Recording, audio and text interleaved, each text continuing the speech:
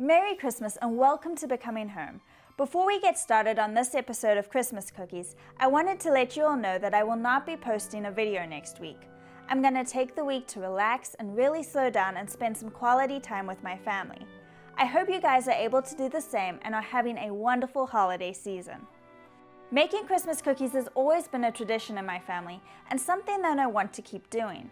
I want to share some of the cookies I made this year with you guys and maybe inspire you to do some baking in the days leading up to Christmas. Maybe make it a family activity. I gathered these recipes from a variety of sources and in some cases I've adapted the recipe from the original.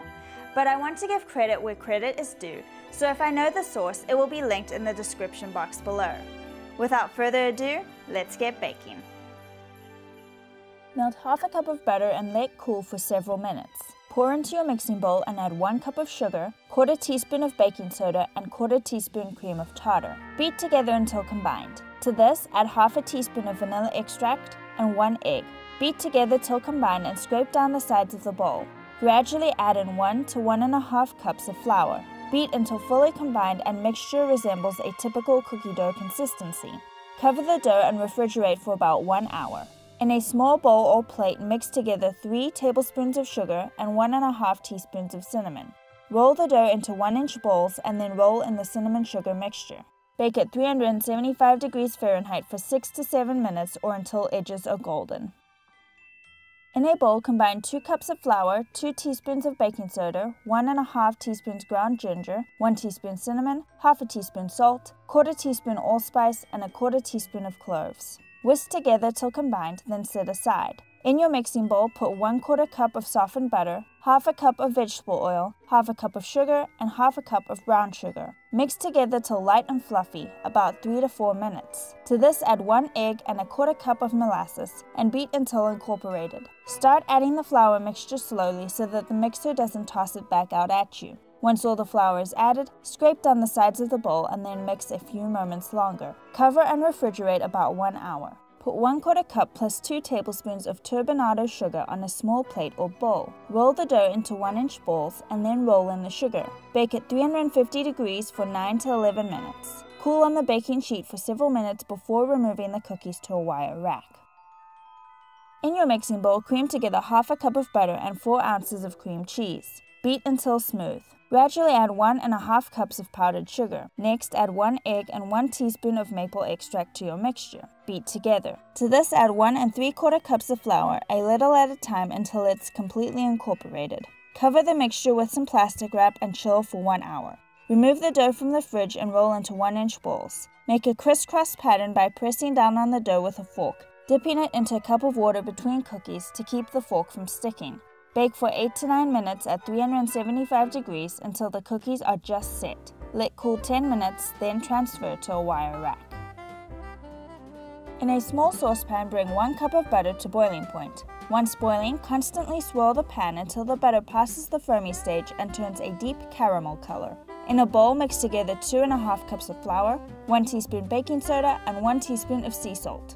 Whisk till combined. Once the butter has cooled, add 1 and a half cups brown sugar, 2 teaspoons of vanilla, and 2 eggs. Mix till fully combined. Put 1 cup of pretzels into a Ziploc bag and crush with the rolling pin. You don't want crumbs, but you also don't want big chunks of pretzel in the cookie, as they can be tough. Take your flour mixture and add the wet ingredients, stirring together until combined. Into this, add 3 quarters of a cup butterscotch chips, the crushed pretzels, and 3 quarters of a cup of chocolate chips. Drop the dough onto a cookie tray lined with parchment paper. Pro tip, add some extra chips to the tops of the cookies to make them look prettier. Sprinkle each cookie with a pinch of sea salt. Bake at 350 degrees for 10 to 12 minutes. Let cool several minutes before transferring to a wire rack. Measure out 3 quarters of a cup of pecans and chop them until fine. Set aside. In a mixing bowl, cream together 1 cup of softened butter, half a cup of powdered sugar, and 1 teaspoon of vanilla. Mix until completely combined and remember to scrape down the sides of the bowl. To this, add 2 and a quarter cups of flour, 1 quarter teaspoon of salt, and the chopped nuts. Stir together until the mixture resembles coarse crumbs. To form the cookies, squeeze the dough together to make 1 inch balls. These can be baked fairly close together as they do not spread out. Bake for 10 to 12 minutes at 400 degrees. Put some powdered sugar on a large plate. When the cookies come out of the oven, place them in the sugar, then shake the plate to completely coat them. When the cookies are completely cool, roll them in the powdered sugar again. In a large bowl, combine 1 cup of flour, half a cup plus 2 tablespoons of cocoa powder, half a teaspoon of salt, and 1 teaspoon of cornstarch. Whisk together and set aside. In a mixing bowl, combine half a cup of softened butter and 3 quarters of a cup of brown sugar. Mix until completely incorporated, scraping down the bowl as needed. To this add 1 egg at room temperature and 1 teaspoon of vanilla. Mix together until incorporated. Add your cocoa flour mixture to the wet ingredients and stir with a spoon until combined. Then add one and a half cups of chocolate chips. Cover the dough and chill for at least 3 hours. In the meantime, count out 18 soft caramel candies. Unwrap them and press slash roll them into balls. Divide the cookie dough equally between the 18 caramel pieces. Roll the cookie dough around the caramel ball until it's hidden. Chill the cookies in the fridge for another 20 minutes. Place on a baking sheet lined with parchment paper and bake at 350 degrees for 9 to 11 minutes. Be careful not to overbake them. Let cool slightly before moving to a wire rack.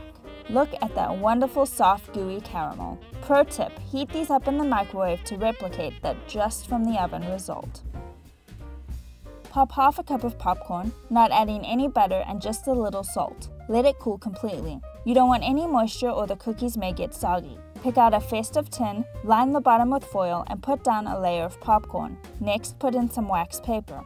Fill up the tin with a few of each type of cookie. Fold over the extra wax paper and then fill in the excess space with more popcorn. The popcorn acts like packing peanuts and helps prevent your cookies from breaking in transit. Finish with a decorative piece of wrapping paper and a list of the cookies you've included. This is a wonderful, thoughtful, and delicious homemade gift that can be mailed to your friends and family. I hope you guys enjoyed this video. If you did, please give it a thumbs up and comment below.